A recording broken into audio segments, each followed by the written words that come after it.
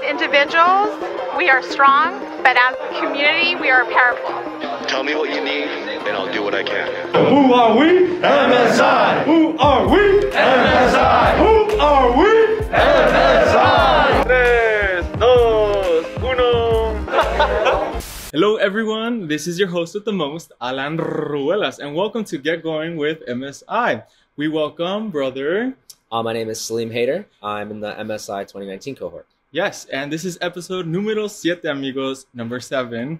And of course, this is where we establish our valuable stories because that's what we do. So, first and foremost, I'd like to check in because that's mental health is super important. And how are you doing, brother Saleem? I'm doing good. Um, I recently came back from a study abroad trip that I did in Barcelona with the business honors program, and it was a lot of fun. Got a good chance to relax, so it's good to be back in the United States, back home, friends and family. Uh, today has been a busy day so far, but this is a nice, relaxing way to uh, enter the evening. So I'm very excited to be here. Well, I'd say, you know, personally, I love traveling, so I'm happy for you. That's always a W. How's Barcelona? I mean, Barcelona. Tell Yeah. me a little bit, dissect a little bit. Barcelona is fantastic. Um, I think it's a great place to go with friends. There's uh, lots of different activities that you can do, whether you enjoy restauranting and walking around, or you enjoy going out um, with uh, to the club or to a bar with friends. Uh, whatever you want, you can find it in Barcelona. I also had the chance to visit Madrid for a very short period of time. I took the the bullet train to travel between cities. Fantastic experience. So. Um, I highly recommend it if you're ever planning on visiting Spain to check out the train transportation system so you can make the most out of your visit. So it was, it was a lot of fun. Let me tell you, let me tell you. We just came back from our little gathering, our gathering, our brotherhood gathering, and I'm smiling cheek to cheek because, as you know, those panelists were a 10 out of 10 of experience for me, asking those questions about being a Chicano, you know Mm. what I'm saying, uh, what Mecha represents. Yeah. Tell me, how was that experience for you right now that we just came out? Just walk us through. I mean, Saleem, what do you think about that? Yeah, it's I really like um, the brotherhood gatherings and the way that they're structured because you learn so much from different varieties and backgrounds. That's one of the, my favorite things about MSI is you really get to learn from people with from all sorts of backgrounds with widely different stories, and that's what happened today um, with all of our panelists who are in multiple different fields, whether it's uh, government or law, uh, about to take their uh, Juris Doctorate, um, or whether it's in education or business. We had panelists from all sorts of backgrounds. It's interesting, or film even, and it's Mhm. super interesting hearing um, the challenges and obstacles that they've faced in their career, their non-traditional paths that they've had in education and beyond, uh, and frankly, quite inspiring to to be able to learn from those individuals and what they have. I I think my favorite part of the panel is at the very end, um, where they talk about those final messages that they want to give, especially as a a graduating student myself this year to be able to hear that uh, gives me a lot of hope and inspiration for the future. There's a, there's a lot to look forward to, and it seemed like um, those people have been through. Uh, all of our panelists have been through a lot and, and have came out on top. So I'm excited to hopefully uh, be on a panel my own someday and be able to speak about some of those experiences. Oh, I'm surprised you haven't had a panel yet devo- devoted to Thank you, you. and your you know your experiences. I mean, you're a senior. Mm. Talk to us more about that. You know, um, being within CSUF and growing as an individual. Yeah, so um, this is my final year on campus, and it's been a very non-traditional track as well. Um, I was born and raised in Southern California, and uh, I went to Valencia High School, which is maybe a five-minute drive from Cal State Fullerton. So the campus has always been very close to me, very close to home. Um, and when I came into Cal State Fullerton, there was a lot of options that I had out in front of me. I was very blessed to have the opportunity to take advanced level classes in high school and receive college credit um, that I could use during my undergraduate here at CSUF. So I, I chose to study business. Business is something that uh, I've always found a passion for. In, in high school, I used to sell snacks and concessions out of a duffel bag, and I just love the the concept of being able to sell a product, market a product, grow and scale, and um, that drew me towards business and specifically in accounting because of the wide variety of options that it provided. So I started on that career track. Um, I brought forward some of my units and credits from uh, high school into my undergraduate, and I was able to graduate a year early. With that came a lot of obstacles, for sure. Where Yeah. We were thrown into the pandemic my very first year. I had spent about half a semester uh, on campus, and um, it, it was tough in the sense of uh, now uh, my three year education was suddenly uh, a year and a half of it was online. So it, now it's a year and a half education when it comes into being on campus, being a senior, having the chance to get that, you know, personal development, especially as it related to wanting to leave the legacy and learn the things that I wanted to learn from the university. So it, wa- it was tough, a, a lot of a lot of different stresses and obstacles, um, but I I overcame. I, I pushed a lot forward and uh, I pushed through a lot of it, and I'm really happy with where I am now. I feel like I'm ready for what's next in the next stage. So Yeah. um, Alan wanted to talk a little bit more about that, so I'm excited to do that. Well, I will say, and I, I, I, I'm obviously very happy to do this every single time that I have the opportunity to. So every interview, every episode, every individual, every topic that we establish becomes oral history. I learned this in my Chicano class, so shout out to my professor. But how we empower ourselves. You know, sometimes we leave, you're like, oh, it's cool remembering that person. Mhm. First and foremost, everyone has a story. Mm. Okay. Uh, second of all, my type of POV behind all this is documentation and archives. It's not necessarily numbers, it's not necessarily views, it's the impact. You, sir, caught tsunamis. And the reason we're here today is because of that. I talked to Jeanette and I was like, you know, what questions should we ask Saleem? And we're impressed by your motivation. Talk to us about how you let's let's dissect this. Have that motivation where you influence other people. Yeah, so I think the the best way to do that is for for context, um, some of the different things that I'm involved with. So um, yes. I, I, I think there's five five current things that I, I'm very invested in at the moment. Um, first and foremost, let's start with education. Uh, I'm president of the Business Honors Program, um, one of three presidents. It was something I got involved with the leadership team uh, my second year on campus, and this is my third year where uh, I'm now overseeing three of the teams alongside two other presidents, and it's been a fantastic experience, uh, and I've learned a lot. Uh, the second thing, as it relates to stuff that I do on campus, is my very first year, I started TEDx CSUF, which is if Oh the my audience is so cool. familiar with TED Talks, um, that's something that I campaign for a lot, and that's a program that um, I founded from scratch, which was really exciting and a lot of work. Um, but it's come really far. I think we're at 150 members, and we have a board of around 15. We do two main conferences every year, and we've worked with ASI, and we've featured speakers from Cornell and CSUF students, and um, people with multiple degrees and doctorates. It's it's really awesome being able to work on that hmm um, outside of campus. Now let's start going a little bit beyond. Um, I run a, a nonprofit charity called Mask Heroes Initiative, which was uh, something that happened in early 2020, where there was a huge shortage of PPE, which is uh, protective equipment for medical. So we're talking masks, face shields, gowns, because there was a huge shortage with the pandemic causing a supply chain shortage and everything. Um, so what we did is, uh, as a nonprofit comprised solely of students, uh, we fundraise money through social media marketing, through business partnerships, and uh, we brought a lot of uh, equipment from abroad back to the states, and we donated to hospitals, retirement homes, homeless shelters, um, the Red Cross, uh, Salvation Army. So awesome places, and I think right now we're at a total of uh, 120,000 or so dollars donated, and we're at um, seven different universities.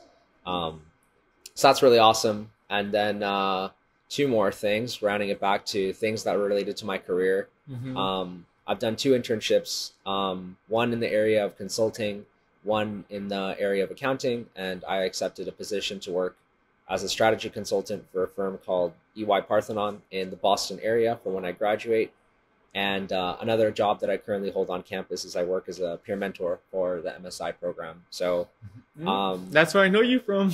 exactly so full circle full circle um so i i yeah there's there's a lot that i do um and, and i have to say that when it comes into finding one just one thing to identify that you know acts as a, a, a motive motivation it's hard um but i can't say a, a philosophy that i've i've sort of thought about for a while now is that when looking at my my career my education track where i chose to get go to university what degree i chose um, what career i chose i think uh, a good slogan is in uniqueness lies opportunity. That's something that i've really really you know stuck to um, where even though i may have studied accounting i chose to explore other fields because i, I saw that there was value in areas that were non-traditional um, my education path is non-traditional my career trajectory is non-traditional my um, way of pursuing higher education, such as master programs, is non-traditional. So, um, so for example, this year I'm applying to five different schools for MBAs, uh, several years in advance of what normal applicants would. Mhm. So it's always, you know, looking at what's in front of me and then figuring out what's not in front of me. And and I feel like that's always kept me in this sort of mindset of there's so much more to be discovered. There's something always around the corner, so let's go ahead and take a peek and see if it's worth pursuing. Um, and I, I feel like I've been in that mode, in that mindset for the past couple years now, and it's taken me. Um, it's just it's never failed to take me in places that I've um, really enjoyed. So that's something that always keeps me excited. I, I never feel I never sink into complacency, um, and that really helps keep me motivated and keep me pursuing new things. Let me ask you something. Let me ask you. This is the first round that I ever do this. Out of seven episodes, I'm gonna ask this question. Hmm. Brother Saleem, how old are you? I'm 20 years old. 20 years old. 20 old. years old. My goodness. Let me tell you, that is impressive. Thank you. that is impressive. I'll share. I'll disclose my age as of now. Um, I'm 23. Mhm. I'm 23 in the sense that we grow, Mm. and for me personally, and now I understand my coach. I feel inspired, and I've said this before. When I see the brothers reaching above and beyond, but you don't necessarily need to reach above and beyond for me to have admiration for you. Mhm. You know what I'm saying? Absolutely. So I say that because I tell brothers, first of all, the sun shines for everybody. Let's establish that. The second thing is reaching the fullness of our potential. My goodness, sometimes quote unquote imposter syndrome, whether it be because of the institution, whether it be because of home, whether it be because of peers, whether it be whatever the case is. No. we uphold these values and I encourage people to keep pushing. And one of the people who does this is you. But you as an individual, let me say, let me say, what would you leave for our next generation? Our younger brothers, freshmen, sophomores, juniors, even seniors who are maybe doubting themselves or have moments where they're like, oh my gosh, mm, I am not going to do it because maybe what if what other people say? What would you tell to them? So, and this is something that I, I've thought about as, lo- as well in my own personal life, where when going back to what I said earlier, when you're constantly looking for something, you're constantly in an environment of uncertainty. Yeah. Where it's it's it's nice, it's comfortable to be sitting with what you're familiar with, to be doing what you've been doing. Um, but when I what I just said was not that; it was the polar opposite. It's to always look for something new, and that comes with its whole set of mental challenges and, and difficulties and obstacles. And the thing that I would say um, is to reach out, reach out to people. That's honestly what I've been doing for the past two and a half years, and it's never failed me. Uh, here's a here's a story I like to I like to say because just because it really shows to go how much reaching out can do for you. So Cal State Fullerton is a university that plays, and especially in accounting, they place very well in four firms. They're called the Big Four firms, right? And I wanted to go work for a company that has never recruited from Cal State Fullerton before. Um, they only hire maybe 12 to 15 people per office, right? Um, and, and they only maybe have, you know, 10 offices in the United States. So we're talking about 120, 150 people a year go work for this company. And when there's only that limited spots, you can imagine they probably go to the best universities to fill these very small spots. Um, and it was daunting at first, you know, going to Cal State Fullerton and recognizing the value that I have in my education, the value that I see in myself, but knowing that there's just so little that's there's so little opportunity. There's so so little slots right? So how do i do this? Um, instead of trying to dwell or instead of being daunted instead of being scared of this fact i just started going on the computer and researching scheduling calls. So um, for context i have one of these positions now and it's really exciting. But i was at a, a dinner where i met um, some people that i was you know going to work with in the future and some of these people that went to some of these top universities and i said hey um, what's your story? Like how, how did you end up landing here? What what what did, what was your interviewing process look like? And they said something that makes me laugh. It's like i saw it on the portal and it looked really interesting. And in my head i was like oh wow that's fascinating. Yeah no this job's really great. But in, in my head i was thinking okay so they saw it on the portal. Let's think about what i had to do to get Yeah. this interview right? I ended up talking with someone that was an alumni Yeah. that worked at one company that was able to refer me to a recruiter that worked at that company who happened to knew a recruiter that worked at my company but in the west coast and then that recruiter i met with them and then they referred me to a recruiter on the East Coast. Yeah. And then that recruiter from the East Coast referred me to someone from that office that I wanted to work in. And then Mhm. that person referred me back to the recruiter that was in charge of reviewing applications that year. So I had to talk to, let's say, I don't know how many people that is in that That's list, like six people, Yeah. right? A solid handful of people just to get an interview, right? And that's the thing where you can do things that are previously, you think that it's impossible. You think that it's not possible. If they only hire 15 students in an office, why don't they just go to Stanford if they want to get someone from California? Why don't they just go to Berkeley or UCLA where there, you know, there's higher GPA requirements or there's higher SAT score averages and things like that. So that you oh you can overcome that by pursuing pursuing that uniqueness you find and you get confidence and reassurance along the way, right? I saw this uniqueness. I saw this path that people didn't take and I sort of just pulled on that string and every once in a while I would get a handshake when I pulled on that string, someone that's willing to help me and then I keep going. Then I meet someone else, someone that keep going. Every time I meet someone, I wouldn't be able to do anything of what I do without having that team, that pe- those groups of people supporting me along the way. There's no way I could do half of what I do now alone. So that's something that I really like. I, I really like that. I think when it comes into um, how I sort of like go forward for those opportunities and all that, I think that's what that's that's my answer. You just gotta talk to as many people as possible and build that support system outside of just friends and family, but with strangers that might be able to help you get where you want to go, help you pursue that unknown. You'd be surprised. Sometimes strangers are the most kindest people. Those are the individuals who will give you an objective answer, an objective response, whatever you're looking for, and it will be definitive. Yes or no, no or yes, and here are the people that you need to talk to. Nothing in between. Is they're taking you to where you're basically. I'm big on energy, where you're manifesting, and so personally, when you say that, it's true. Literally, I've been networking like crazy. And for me personally, I'm, I I always establish this genuineness. Oh my goodness, I see people and I'm just like I like to establish a connection, and that to me is super important because aside from the professionalism, aside from the job, the money, this and that, I like that, and that's important to me. So I project that because it's valuable to me. We talked about that. Our values. What are our values, sweetie? If it's not if, if it's not genuine, let me tell you, we're going the next way. Right. Um, but I say that because what you're saying is facts. Facts, Brother Saleem, in in from what I can recollect, and I hope that is connected to what you were talking about right now, Chicago. Tell us how you're feeling. I know you're very happy to do what you're going to do, but tell us a little bit about that. About uh, so Uh, Boston. Yeah. Moving? Oh, oh, did I say it backwards? I, I think you said Chicago, Oh. but no, no, I, I understood. I understood. Full okay, context, hold yeah. on. Boston, y'all. We're human. We're human. Continue. Yeah. So the the story behind that, it, it's honestly a short one. Um, Yeah. So I've been born and raised in Southern California, and um, the job that I wanted had the most opportunities in larger cities. So let's let's plan it out. That's what I did. Um, you have your larger cities in California, which is Los Angeles and San Francisco, right? For I mean, you have San Diego, but for business, usually Los Angeles, San Francisco are hubs. Um, so I those offices are great. Los Angeles was a little too close from home. San Francisco is too expensive for me at this point in my life. Um, so I started looking at let's see what's on the other side of the coast. You got New York City, you got Boston. I'm like, okay, great. New York City is just too chaotic. Yeah. Uh, in the and it's also extremely expensive. Yeah. Right.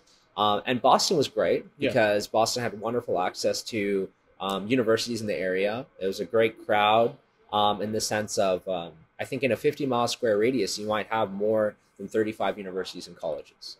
Uh, and there's every office for every top company you can think of. So just think the number of young professionals in there in that area, sort of looking for a career and Mhm. developing themselves. That environment sort of stood out to me. So that's one reason why. But the joke I always like to say is because I'm asked this question frequently during interviews for those positions at those in that area. Says I I want to go see the seasons. Okay. California is great, but it's sunny year round. I wanted to I wanted to go see see some orange on the leaves, see some snow on the ground. So that's that's the running joke. But in, in reality, it's just because I wanted to experiment. It's a new stage of my life.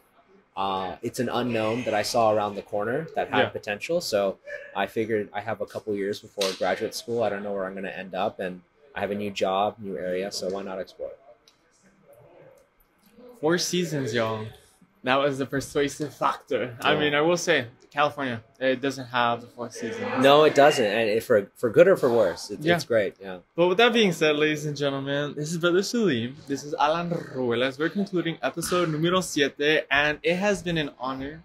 It's a flex to say your name. it's it, it, it to me it's a privilege. I find beauty in uh, obviously your work, but who you are as a person. Um, like I told you that day of the panel, pushing. Voice your voice, y'all. Like when I saw you, like I told you, off of your idea, I propelled my idea because of your initiative and your hunger, your drive. And I was just like, stuff like this is what MSI embodies. MSI literally cultivates leaders that resemble what you do. And I'm pretty sure you're a beautiful person inside and out. And for me personally, like I said, I believe in energy a lot, and I wish you the best in your endeavors. I know you're gonna do big. I know you, well, even if, like we're in your personal life, I'm wishing you the best in everything. And I mean that because we established brotherhood, and that to me is the code. And if you ever need something, I'm right here, and that establishes the seventh episode. And I'm super happy, y'all. yeah. So the privilege is mine, Alan. And uh, about the name, it's my grandfather, so all my good fortune is due to him. So I really appreciate it. I had a blast. We gotta do the we gotta do the one two. the one, The one, One, two. two. All right. There we go. Later, y'all. Bye.